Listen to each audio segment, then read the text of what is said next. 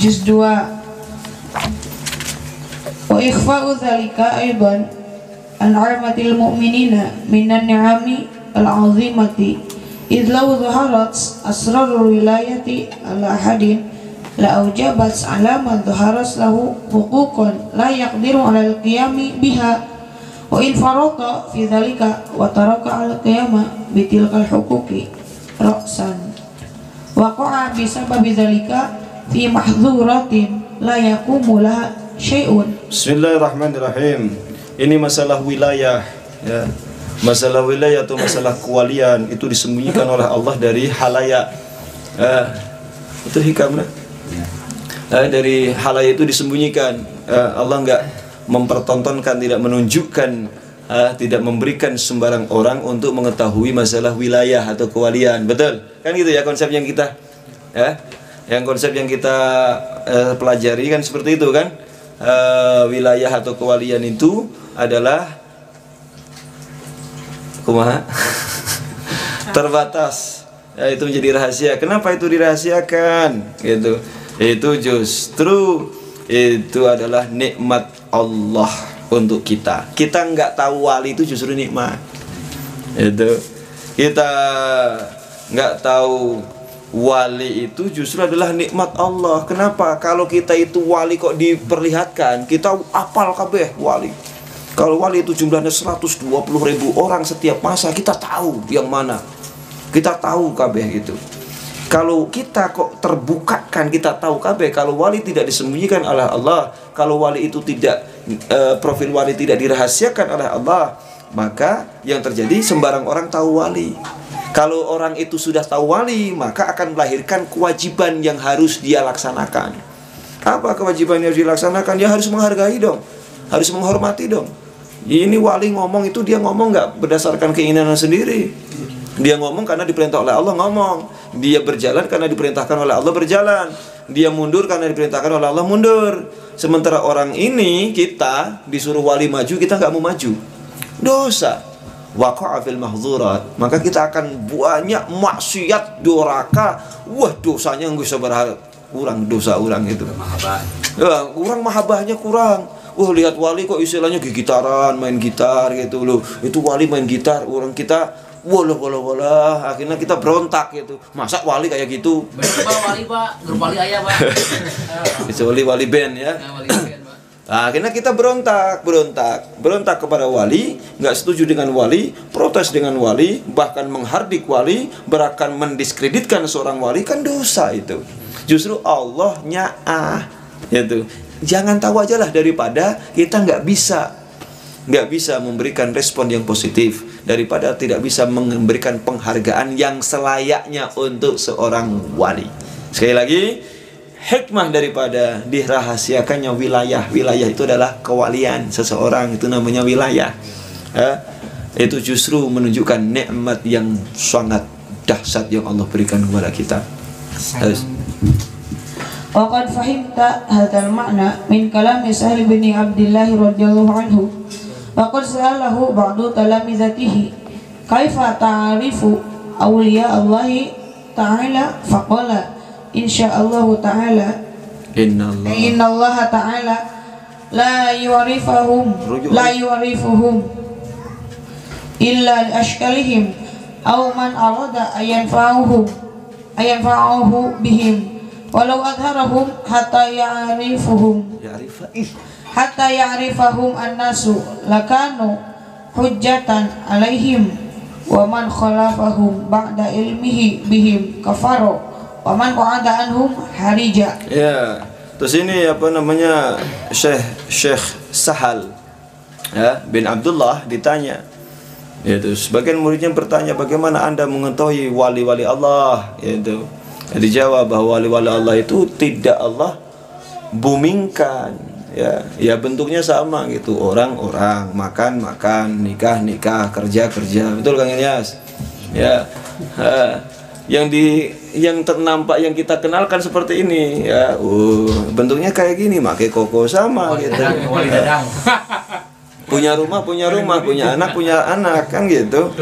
Ya. Tidak ada hal yang yang beda gitu. Tidak ada hal yang beda. Sehingga untuk mengenal wali itu rumit gitu. Ya rumit. Yang diberikan orang tahu wali itu yaitu orang-orang yang memang Allah akan memberikan manfaat kepada orang itu sebab dia kenal wali. Ya mun matak pi manfaat entah kanggo dirina.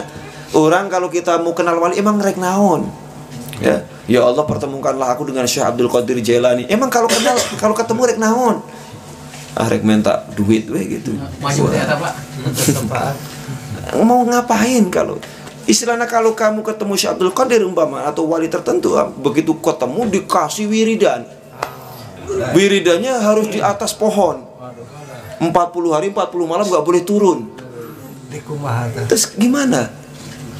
Ya kalau nggak nggak menjadikan hal yang tidak akan membawa manfaat ya makanya kita itu ditutup oleh Allah nggak mungkin kenal dengan para wali. Gitu ya. Kenapa? Karena kalau kita kenal dengan wali wali ditunjukkan ke- eh, oleh Allah kepada kita lakanu hujjatan alaihim. Justru wali ini akan menjadi hujah yang mencelakakan kita nanti di mahsyar jadi hujah yang mencelakakan tuh maksudnya gimana? Loh, kamu kenal wali, tapi kenapa kamu tidak menghormati wali? Loh, kamu kenal wali, kenapa kamu mahabbahnya kurang? Loh, kamu kenal wali kok, tapi hatimu kok selalu bergejolak terus kepada wali itu? Loh, kamu kenal wali kok, instruksi wali kok nggak, kamu nggak nurut? Nah itu justru akan menjadi hujatan alaihim Hujatan alaihim itu berarti hujah yang mencelakakan Ada hujatan lahum, ada hujatan alaihim Mun hujatan lahum. Itu akan menjadi hujah yang mensupport kita mendapatkan maghfirah Allah. Kalau hujatan alaihim itu menjadi hujah yang mencelakakan kita. Nah ini hikmahnya. Kita di, tidak dikenalkan. Wa man khalafu ba'da ilmihi bihim kafara. Tuh kalau orang yang menyalahi wali ya dia apa namanya mukhalafah dia magid magedrukan wali berbenturan dengan wali setelah dia tahu dia itu wali kufur orang itu betul teh Iya. ya kalau kita nggak tahu kan ngena kan begitu datang sudah dijitak kepala nah duraka dosa nggak Tidak. lah orang nggak tahu kok kita Itu apa wali Pak? Oh, gitu ya kok kayak ada pengemis datang langsung dibualai dok cop ya padahal wali. Lah orang kita nggak tahu kok. Wali dadang. Tapi kalau kita tahu tapi kita berseberangan jalan dengan wali tersebut kufur. Itu karena wali itu pendengarannya adalah di eh, monitoring oleh Allah. eh. Penglihatannya dimonitoring oleh Allah, langkahnya dimonitoring oleh Allah. Apa pun sepak terjangnya dimonitoring oleh Allah Subhanahu wa taala itu wali. Lah kita kok menentangnya kufur. eh. Dan orang yang istilahnya meneng-meneng baik gitu no action ah saya mah dingin-dingin saja ke wali dosa Dan nggak ada hal yang yang boleh dan bisa dilakukan kecuali namploken hati berarti menfokuskan hati kita pikiran kita tenaga kita segalanya ya kepada wali yang bersangkutan. Kalau itu tidak dilakukan dosa minimal dosa maksimalnya bisa jadi kufur. Oleh karena itu wali dikasih hijab. Kita nggak bisa lihat wali. Kita dihalangi dari wali. Lah itulah hikmahnya. Ya oke. Terus? Ngesan? Ya Laki, walakin Allah Ta'ala ja'ala taghtiyata umurihim rahmatan minhu li khalqihi. Ah, dan ini disampaikan bahwa Allah itu punya pilihan tersendiri. Apa pilihan Allah? Tagti atau umurihim. Allah menutupi perkara-perkara yang terkait dengan wali. Rahmatan. Itu sebagai rahmat. Sebagai bentuk sayang kanya akan makhluk Allah. Biar makhluknya itu nggak banyak dosa. Kalau wali di eh, di open bar, siapa pun bisa tahu wali. Uh, itu orang-orang wah banyak dosa. Kita pun bisa jadi banyak dosa. Terus, Warafatan. iya sama. Walakin Allah Ta'ala qad akhbaru bi karamatihim. Qad akhbara. Qad akhbaru bi karamatihim. Faqala azza wa jalla Allahu waliyul ladzina amanu wallahu waliyul mu'minin. Nah, itu nah, cuma Allah memberikan karomah ya, memberitahukan kita mengenai masalah karomah atau keramatnya wali ya. Apa keramatnya wali? Allahu waliyul ladzina amanu. Allah itu adalah walinya kekasihnya orang-orang yang beriman. Wallahu waliyul mu'minin. Ya Allah adalah wali atau kasihnya orang-orang yang beriman. Terus. Fa'afradahum bihi walau adharahum hatta yubrizahum lakana fi nazari ilaihim hujjatun wa kana al istima'u li hadithihim fardun. Tuh, jadi apa pun kita melihat itu menjadi satu hujjah ya. Nanti bisa jadi satu hujjah di mahsyar. Ya. kalau kita nggak nurut itu celaka. Kalau kita nurut berarti dikasih bonus oleh Allah.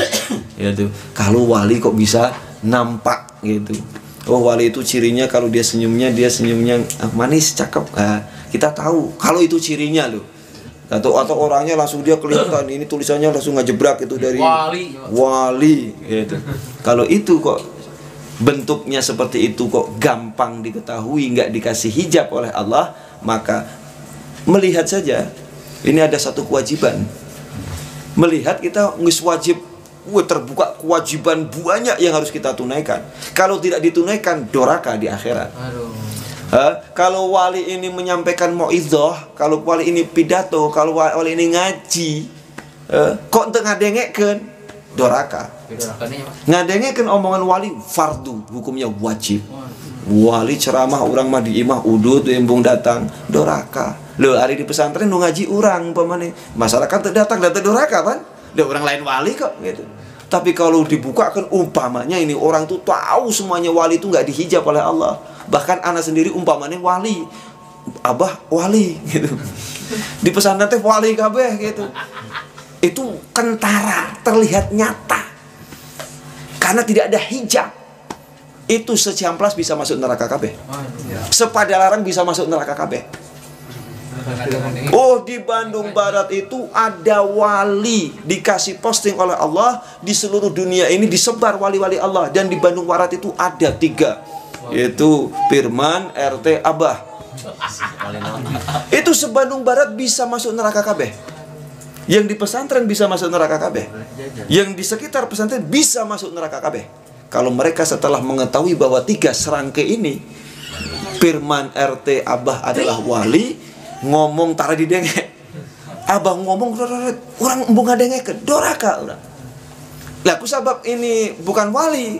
Untuk ngomong untuk didengekan mungkin tidak masalah. Aman, aman, aman, aman. gitu loh itu hikmah daripada dihijabnya wali-wali Allah. Hanya orang-orang pilihan saja yang dibukakan rahasia itu oleh Allah yang dibukakan hijab oleh Allah yang dikasih bocoran. Ini lo wali A wali B. Ini lo 120 ribu wali sealam jagat setiap masa itu. Si anu si anu si anu si anu si anu. Itu itu orang-orang yang memang eh, ada manfaat tertentu bagi orang tersebut setelah dia dibukakan hijab oleh Allah sehingga dia mengetahui wali. Kalau memang ayah manfaatnya. Lah kanggo kita berarti Allah memandang kita ndak manfaatan.